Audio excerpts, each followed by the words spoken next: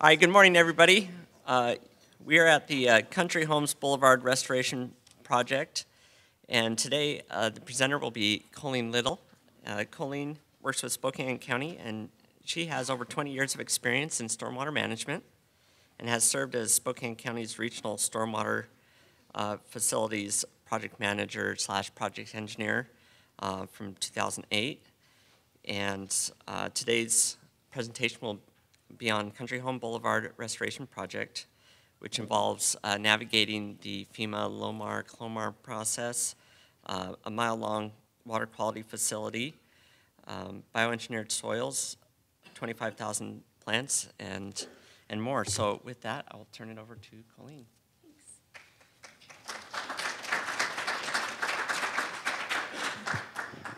All right, good morning. Um, so today we're going to talk about uh, the big the big picture here is that uh, Spokane County took a mile-long asphalt channel um, with zero water quality treatment and almost no flood control and turned it into a very beautiful yet very functional regional stormwater facility. So we'll talk just briefly about the project location, project purpose, uh, show you an overview of the drainage area and the type of facility that it is. So here's an overview of the watershed. This is a two and a half square mile drainage area, um, the yellow dashed line. The project area is um, between the two red dots.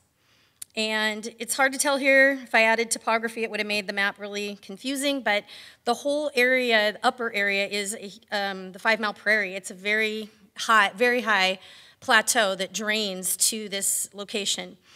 Overall, this location does have a surface channel that flows all the way, could flow, a better term, all the way to the Little Spokane River. Um, it exists. Uh, the water does not actually flow all the way there, but there's definitely a connectivity to our Spokane aquifer. Um, that's just a quick look at the drainage uh, basins. C8 is where the project is located, basically the blue line up the middle.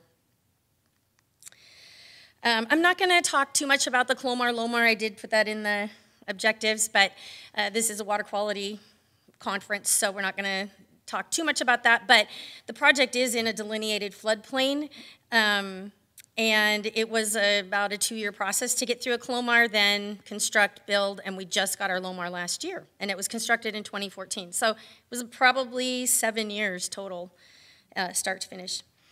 And here's the facility cross-section. Uh, AHBL's graphic here is really wonderful. Basically, the facility, you can call it bio-infiltration, bio-retention, rain garden. It has a little bit of everything. Um, mostly is bio-retention, though. It's got the 18 inches of bioengineered soil that you've heard discussed in a lot of the other uh, presentations. Um, it does function like a bio-infiltration in the sense that there are overflow structures uh, situated about 18 inches off the bottom that if the facility fills up beyond the water quality storm, it'll spill into those and um, is conveyed in a 48 inch squash pipe um, for the full mile, basically replicating the V-ditch channel that was there before. Uh, again, mile long, we, because it's in such a visible corridor, 25,000 cars a day, um, and sort of first of its kind in eastern Washington, um, we have several regional stormwater facilities in Spokane County, but this one is one that everybody drives by. It's a connector, um, like I said, a very busy arterial. So we incorporated uh, plant design. Um, I know nothing about plants, which is why we hired the AHBL.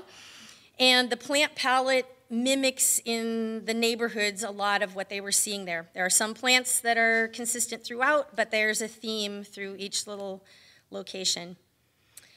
Um, mostly different trees in each section, and um, there was a theme of sort of a yellow, white, and purple flowers, which is um, really nice. Um, another kind of unique feature to this is because there are 21 overflow structures in the one mile length, none of them more than about 300 feet apart. They're seven foot diameter concrete manhole structures. We had to have pullouts to that could support a Vactor truck to get up next to them and clean out, jet out the pipe, and clean any sediment out. So um, these access points have they were a, a complicated um, construction. So pre-construction for this, uh, we talked a little bit about the existing conveyance. The channel is an average of, was an average of 30 feet wide and about four feet deep. Um, stormwater from all of the local neighborhoods and groundwater springs permanent base flow in this channel and coming into the facility directly into the channel from about five different locations. Um, again, no water quality treatment locally and really no flood control management. Um, one of the bigger challenges for this project was um, there's a bottleneck um, right here in this picture at the end. So you've got this 30 foot wide channel and it necks down to a concrete box culvert and then goes cross country through about 15 parcels in their backyards. We don't do that anymore. We don't put drainage channels and easements through people's backyards because it just is, uh, you don't know what happens back there. We get to see those pictures in a minute. So that was sort of the spring. What does it look like in the spring? Uh, during the summer, um, lots of vegetation growth, believe it or not, lots of sediment got in the channel, seeds get in there, crazy stuff would grow. Uh, flow would be restricted, mosquitoes, algae, it stunk, and lots of visible trash. Um, again, this is in the middle of summer. This is base flow, groundwater, and the asphalt channel slope was less than a half a percent in some places, so really not much movement, lots of stagnant water. This is what the plant material looked like when it would just kind of fall over and die. Our Geiger work release crew would come through and rip it out and throw it on the banks. People would call and say, Why'd you leave it there? I'm like, Well, we're not leaving it there, but it's wet and it's heavy. So they would leave it there for a couple of weeks to dry in order to haul it off in an easier fashion. In the winter, um, bank full conditions a lot of the time. Uh, rapid snow melt, we get our Chinooks in our area where um, on top of the snow we'd have ice dams. This is again right at that bottleneck um, often would go over the road there too.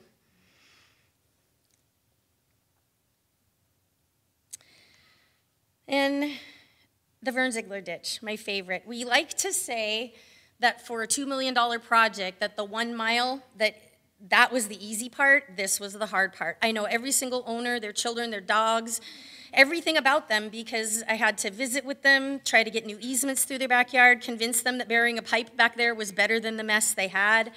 Um, the existing easement on the plat was only 30 feet wide, and you're going to see in some of these pictures, in some cases, people built right up to their property line. So their 15 feet on their side was already gone. So I had to get equipment into 15 feet to work. So that's a better picture overall of the drainage channel that went through. Termination point is at Price and Wall. We have a big regional facility there that was built in 2008. So this is what it looks like um, on the other side of the concrete bridge, but it literally necks down to nothing. Uh, cyclone fences, um, people threw their grass clippings and God knows what back there, really just stinky, messy. You can see right here, uh, here's a swimming pool and their fence is right on the property line, so 15 feet gone. Gazebo and fence in the easement area. Um, that's the other side of the fence. So I had 15 feet to get in there with equipment. Uh, the channel went right through several backyards. An interesting fact to this is originally our application with Department of Ecology, because this is a stormwater retrofit funded project, 75-25 match with ecology. Um, we originally weren't going to do anything in the Vern Ziegler ditch, but as time passed, we were like, we're not really providing the full solution if we don't. So it was a hurry up and try to get easements and talk to people. The last three properties refused to participate. So we did pipe it um, that far. It's mounded in the last lot a little bit. And then it goes through the last few people I told them, I said, if you don't say yes now, it can never happen without a drop structure in the middle of your backyard. So um, they were just a little distrustful for their own reasons, but um, it is a bioretention system. Uh, the bioengineered soil is the same mix, the 60-40 that you've heard. Um, we, the way we wrote it in our spec was we gave them three different options of how to get the soil amended, and they chose to batch mix it off-site, test it, and then bring it in in a 1,000 cubic yards at a time. There was about 7,000 cubic yards of material, and they were doing really great at first, batch testing, everything was great. And then all of a sudden, I went out one day and there's like 2,000 yards placed and no one had tested it. Pause, test, not working. So they had to amend the soil, retest, and um, yeah, so a little complicated to do that, was a lot of soil. Um, so this is during construction. Uh, the roadway, there's one lane in each direction, north and south, very wide lanes, wide enough that we were able to compress the lanes to the outside, and we kept both lanes open the entire time. Construction vehicles queued up um, um, on the inside closest to the road. Um, this is what the maintenance pullouts, just sort of the progression of how that worked. Um,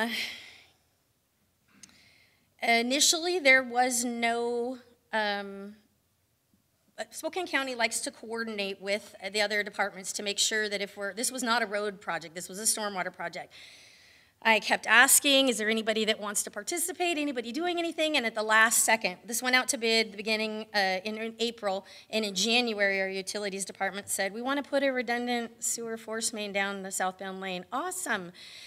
So it was a completely, yeah, completely by the way, right, exactly. So completely different engineer designing it, completely different set of plans, different bid schedule, different packet, but all bid, I mean, all at the same time and then trying to coordinate it.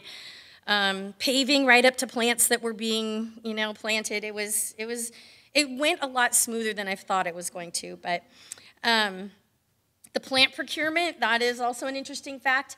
Again, 25 to 27,000 plants. We probably could have got by with 20, but who knew? It's still awesome. Um, the plants came in from Oregon. We did a early plant procurement in February that year because there were no greenhouses in our area that could possibly provide that many plants if we'd waited until May when it went out to bid.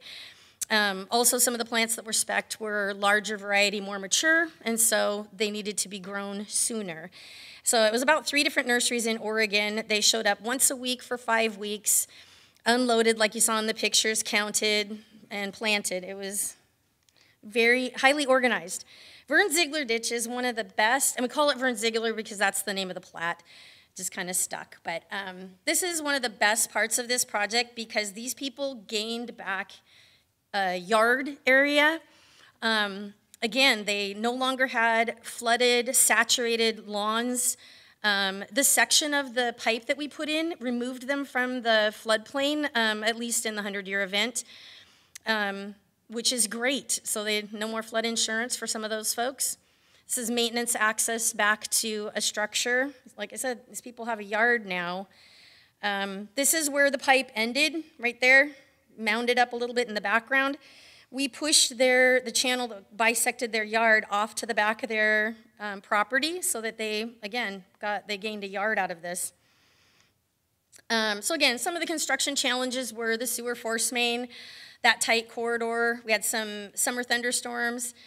Um, one of the big things that we ran into was um, even though we did soil testing in advance, we had a section of the um, project that had unsuitable soils. We had a big summer thunderstorm and went out there and not a single thing was draining. It was just ponded water from, for about 500 feet. Quickly, probably the only change order of any significant value on the project um, ended up with sort of a burrito wrap, gravel infiltration gallery.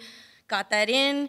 I mean, I had to stop work for a little while, but um, yeah, AHBL was great in getting that out for us, and our contractor was amazing in backtracking to do some other work.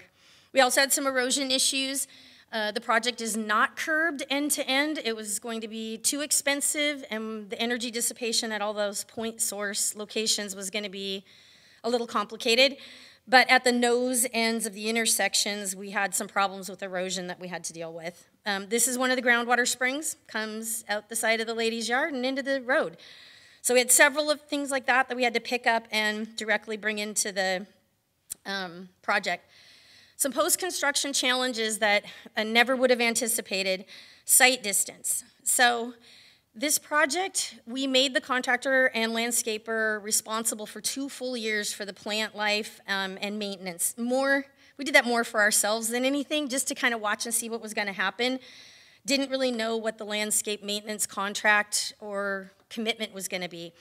So one of the plants we got, and I'm not a plant person, so everything looked fine to me, but one of the dogwoods that we got was not the variety we thought it would be. It should have been low and spread out. And in 18 months, every single plant out here grew to full maturity. The bioengineered soil, I don't know, just great weather in Spokane, but I didn't mind that the plants grew up in the middle thick. No one cared about that. That was actually intentional. We did a speed study and did some national studies to show that if you can't see across the lane that's coming towards you, you initially, it boxes you in a little bit and slows you down. So I didn't mind that in the middle, but all of a sudden I was getting phone calls in June saying, I can't see to cross. I can't see to turn. I'm like, what are you talking about? And I went out there and um, yeah, it was terrible. We probably spent $30,000 in removing plants, uh, replanting shorter. These aren't very, I don't have a ton of good pictures of it, but I have one sitting in my truck where you can't see anything. Um, and yeah, so that was quite the little fix, and we had to do it in a big hurry because it was a safety concern. And so part of our overall landscape and maintenance plans now is regular visitation. The liability is not on our contractor to say, hey, it looks like it's a sight distance issue. It's our job to go out and identify that, and then we let them know how often to do the sight distance trimming. Uh, vehicle drive offs. Okay, I've lived in Spokane my entire life. I drove through the asphalt channel in the snow. It was fun. Everyone did that. I don't think anyone is driving through anymore intentionally. Um, we've had a rollover. Um, we have people drive through it all the time. Believe it or not, it's not that expensive. I think our average cost is like $1,500 a year. Some years it's 100 bucks. We mostly have them just repair the, um, the irrigation, and we don't worry so much about the plants because honestly, once things get growing, we do trim it back every year because another problem that we had was because we weren't trimming it back. Um, the plants just come back, so we don't ever really fill stuff in anymore. Um, we just repair the irrigation and move on. So voles and gophers, who would have expected that? I didn't. Um, so the winter of 2016 wasn't necessarily the coldest winter in Spokane, but we had a ton of snow. And the next spring comes up, and our plants, it's like everything is greening up, but a lot of the ornamental grasses just were not popping back. And it took multiple trips, to bring out the, the landscape architect, bring out the contract, the, you know, everybody. What is going on out here? Eventually, and I'm not even joking, when you, those are all chewed up, you know, I, I accused someone of coming out with a weed whacker because some of this looked so precise. That's gophers. um, there were little tunnels, and you, they were running all over the place. It was ridiculous. And I was just like, boy, I didn't sign up for this. I don't know what to do. Um, so we bought bait boxes. Yeah, uh, we bought bait boxes. Um, our part of our annual maintenance is to put down mold chase, which is a castor oil product, and it's just a deterrent. You're never going to eradicate them. We have too much open area not too far away. Um, but we really have knocked down the we've knocked them down, and the cost annually for that is around $2,000 a year to maintain the bait boxes and have them checked and filled. So you know, it's better. Um, our banners that we have up out there that mimic the entry monuments. Um, we've had a couple broken brackets. Uh, my favorite is this, especially on a Sunday when someone calls and says, You have a geyser, and then I have to find someone to go out and turn the water off. Um, but that's kind of a normal thing. So here's a couple pictures of what the project looks like today. I'll just run through a couple, some of the numbers. Um, the engineer's estimate was $2.3 million. The low bid was 1.9. We still finished under the 2.3, even with a couple of larger change orders. The pipe was about a half a million dollars. The plants, okay, the public went crazy. They thought we had, we were in cahoots with somebody over the plant contract because, yeah, 25,000 plants. But the plants were about 4% of the overall cost. It was maybe $90,000 total for the purchase and installation of the plants, so not that big a deal. Um, the topsoil was $200,000. Um, our cost to irrigate it, so the last two years it's only been about $3,400 a year, which I don't, if you do the math on if we had sodded this, it would have been so much more than that, um, which was the intention of why we did plants versus sod. Um, and let's see what else. Our annual maintenance is about $7,000 a year. So it's really not that much money. We employ our Geiger work release crew to do some weeding and some, you know, a little bit of maintenance and trash pickup, but we have a landscape contractor who does the herbicide and, you know, gets the irrigation up and going and repairs it, but, so, um, that is about it, that's it. Any questions?